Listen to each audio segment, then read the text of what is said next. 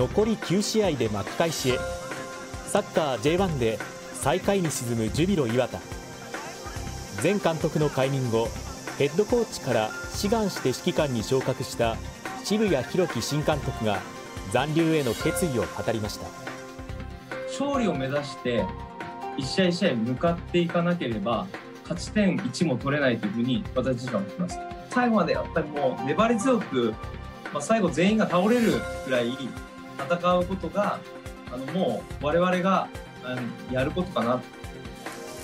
ジュビロ磐田は明日アウェーで名古屋グランパスと対戦します。